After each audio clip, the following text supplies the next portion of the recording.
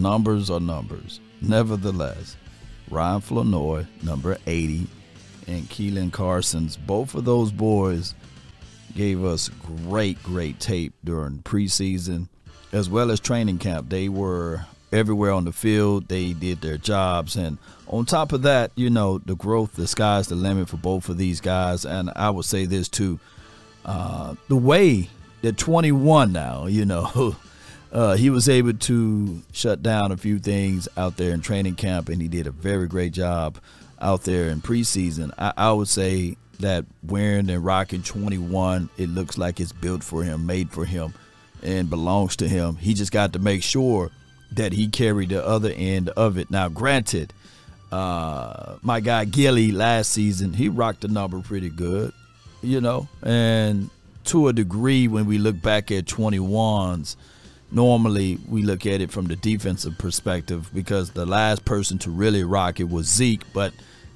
when we look at it, look at it, you can talk about Mike Jenkins, right? We can talk about the fact that he had, what, a, year or so good with us, and then everything kind of went to the wayside. But nevertheless, we can look back at this 21 on Carson's and say, hey, hey, bro, stand tall with it, man. He got the right mindset. He's a hard worker. And it seems as if, though, when he was out there on the field, he kind of moved like a veteran, right? And we will see if he can stand tall with it. Now, to number 80, Ryan. We've been talking about a lot of noise with Jalen Brooks, a lot of noise with Jalen Tolbert. But let's be real, naturally, naturally, this number 80 right here, dog, he stood tall in a lot of moments. And on top of that, he got great acceleration. He attacked the ball in his air. He made the necessary adjustments. He's a 4-4 40 guy. Uh, in the words of Chris Carter, fo, fo, fo, you know. Fo, fo, fo. Come on, man. Stop playing. So he's all of those things combined. And I think that down the stretch, we may continue to see him move up the chart.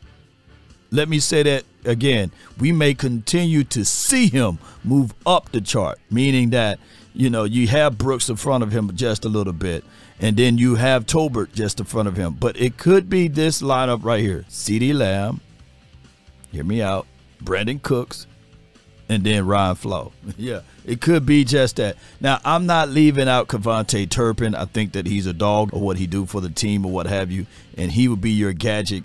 Oh, occasionally taking the top off the defense guy. But as far as consistent play, it's about to be that number 80 because keep in mind in training camp. He banged up his knee, and that's the reason why we got a chance to see Kevin Harmon and all of those other boys that they picked up. If he didn't bang his knee, he would have been further even more along the way. So I can't wait to see how everything works its way out. Uh, shout out to Ryan Flo. He's gonna be rocking number 80. Mm, that, that, should be a good number for him. I, I really wanted him to uh, have one of those 18 or slash 19 numbers, but we, we we know that those numbers are taken already. So let's go with the classic look, the 80s out there, man. So in the chat, I want to know your favorite 21 of all time in the Cowboys uniform, right? Post that down below. And also in the chat, let me know what other number you would love to see my guy Caelen Carson's wear, right? And on the flip side, in the chat, let me know of your favorite number 80 of all time that ever rocked with the silver and blue and the star on the side of the helmet. And also what number you would have preferred him to wear. And I know numbers are numbers, but we, we always like to talk about these small little things before the season really kick off. That's been my time. I really thank you all for yours. And remember, you're listening to nothing but the best. Go Cowboys.